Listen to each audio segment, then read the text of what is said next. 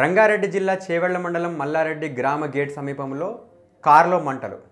రంగారెడ్డి జిల్లా చేవెళ్ళ మండలం మల్లారెడ్డిగూడ గ్రామ గేట్ సమీపంలో పోలవరం బంధువుల ఫంక్షన్కి వెళ్ళి వస్తుంటే ఆల్టో కారులో అకస్మాత్తుగా మంటలు చెలరేగడంతో కారులో ఉన్న చేవెళ్ళ మండలం ధర్మసాగర్ గ్రామానికి చెందిన కృష్ణారెడ్డి భయంతో కారులోంచి దిగి పరుగులు తీయడంతో కారు పూర్తిగా తగిలిపోయింది.